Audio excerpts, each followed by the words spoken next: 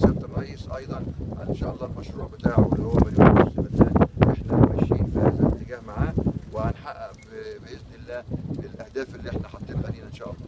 طب أسعار اللحوم يا فندم ارتفعت وصلت 110 في مدينه أسعار. اللحوم هنعمل إيه الفترة اللي جاية دي؟ يعني أسعار اللحوم وأنا بضم صوت الزوت الحملة اللي شغالة حاليا اللي بلاها لحمة ودي طبعا إحنا هنا يمكن عندنا الخرفان والبديان هنا عايشين على دي هذا النوع من أنواع اللحوم. المزرعة تسمير الماشيه اللي موجودة عندنا دي إحنا صدقنا من السيد وزير التخطيط على عمل مجزر بيكلف 12 مليون جنيه نص آلي كلف 12 مليون جنيه مناصفة مع التعاون الدولي 6 مليون تخطيط 6 مليون تعاون الدولي.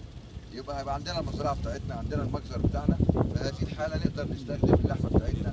بدل ما تيجي من القاهرة وبتيجي من من خارج المحافظة فبتتكلف نقل وبتتكلف آه، بتيجي غالية هنا المحافظة. إنما هو الاعتماد الحالي على الدواجن وعلى ال- ال- الإغنام. آه، إنما إن شاء الله في القريب العاجل هنست- يبقى عندنا الثروة الحيوانية.